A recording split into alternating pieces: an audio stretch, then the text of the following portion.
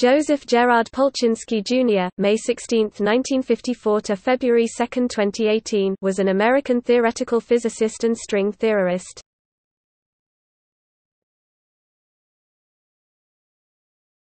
Topic: Biography Polchinski was born in White Plains, New York, the elder of two children to Joseph Gerard Polchinski Sr. (1929–2002), a financial consultant and manager, and Joan (née Thornton), an office worker and homemaker. Polchinski graduated from Canyon del Oro High School in Tucson, Arizona, in 1971, obtained his B.S. degree from Caltech in 1975, and his Ph.D. from the University of California, Berkeley in 1980 under the supervision of Stanley Mandelstam. After postdoctoral positions at SLAC 1980 and Harvard 1982 he was a professor at the University of Texas at Austin from 1984 to 1992. Since 1992 until March 2017 he was a professor in the physics department at the University of California, Santa Barbara and a permanent member of the Kavli Institute for Theoretical Physics there.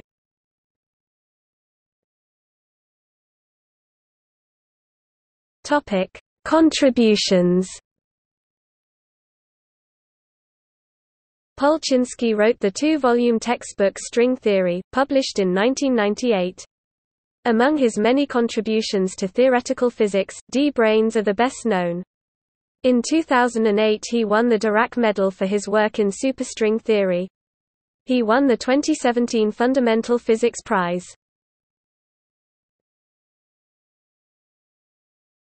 Topic: D-branes. Polchinski's contributions to D-brane physics were a primary trigger of the second superstring revolution and the physics of holographic gauge gravity dualities.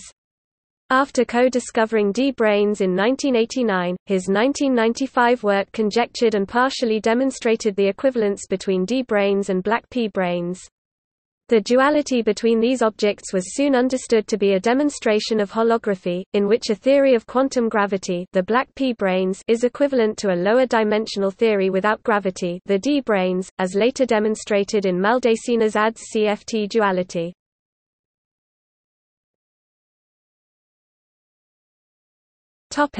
Polchinski's paradox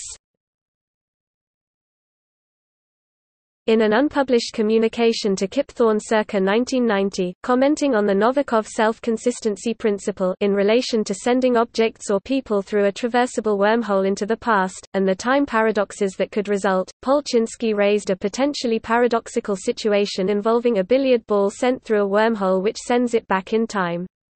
In this scenario, the ball is fired into a wormhole at an angle such that, if it continues along that path, it will exit the wormhole in the past at just the right angle to collide with its earlier self, thereby knocking it off course and preventing it from entering the wormhole in the first place.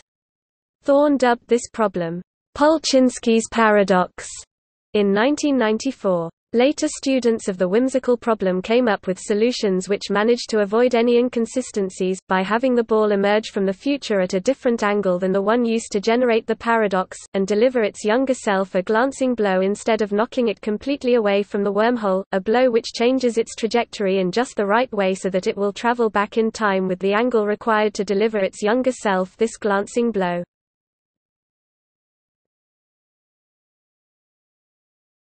Topic 2012 paper on black holes In July 2012, Polchinski, with two of his students, James Sully and Ahmed Almheiri, and fellow string theorist Donald Marolf at the University of California, Santa Barbara UCSB, published a paper whose calculations about black hole radiation suggested that either general relativity's equivalence principle is wrong, or else a key tenet of quantum mechanics is incorrect.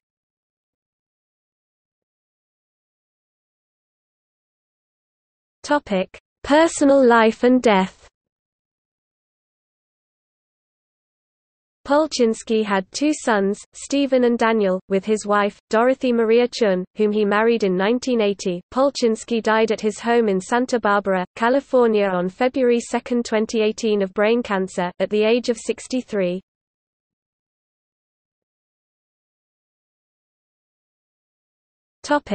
Bibliography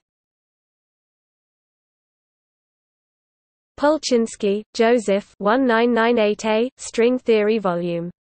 I. An Introduction to the Bosonic String, Cambridge University Press, ISBN 0-521-63303-6 Polchinski, Joseph 1998b, String Theory Vol. 2, Superstring Theory and Beyond, Cambridge University Press, ISBN 0-521-63304-4 Polchinski, Joseph 2017, Memories of a Theoretical Physicist, Arxiv, 1708.09093, bibcode, 2017 Arxiv 1708090993 p. Autobiographical memoir